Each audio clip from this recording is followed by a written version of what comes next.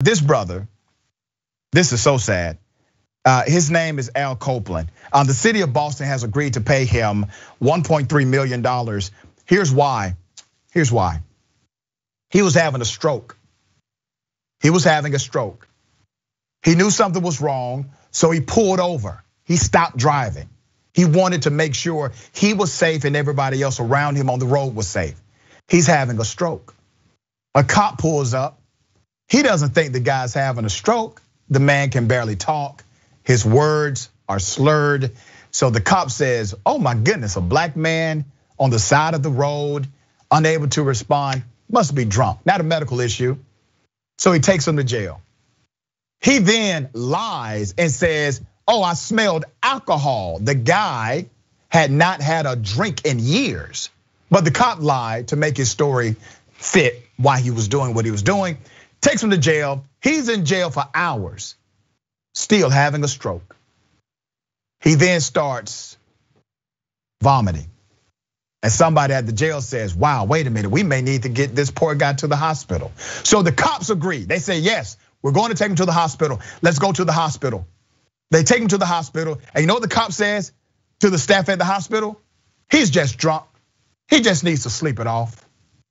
So the hospital, they let him wait for hours again. No medical attention because they took the word of the cops saying he's drunk. He's still having a damn stroke for hours. It adversely impacted his ability in many ways. Let's put up a picture of this young man, of this young brother. All right. The incident occurred two years ago, April 2019, when police officers found Copeland slumped in his car and barely conscious. Law enforcement claimed they smelled alcohol on Copeland, although the man had not had a drink in over 20 years. A number of errors were reportedly made in the events that followed, including the fact officers arrested Copeland instead of calling for medical assistance. That was part of the protocol that they violated.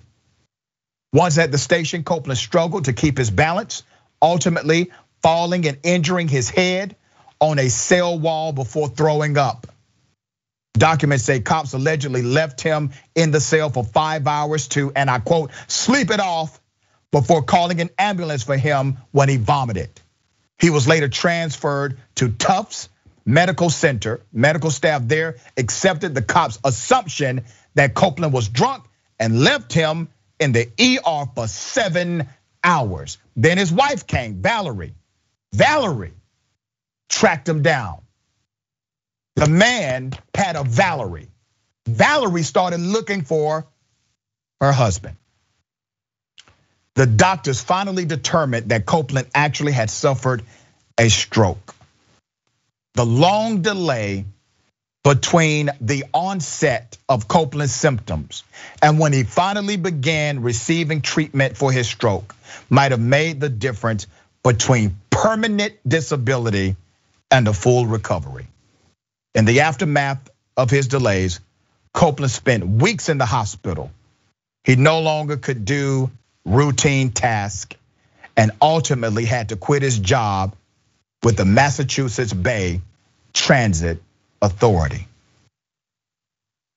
The officers involved were disciplined, not for how they handled Copeland, but instead for not promptly responding after he hit his head.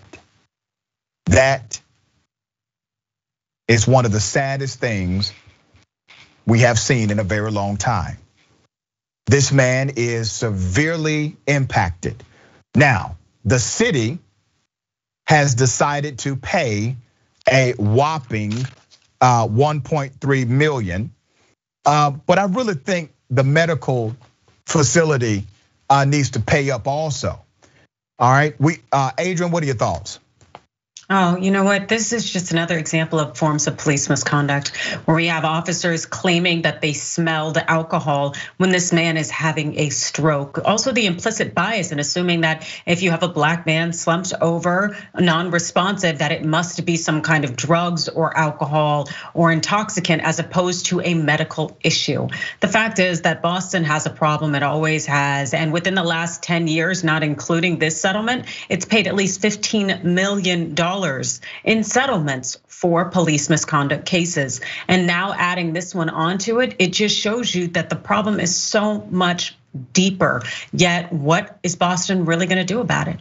Yeah, and the you brought up something really interesting because it's a reality that I don't think is promoted enough. When we talk about bad cops, corrupt cops, negligent cops, biased cops, implicitly biased cops, hyper aggressive racist cops. These cops cost the city money.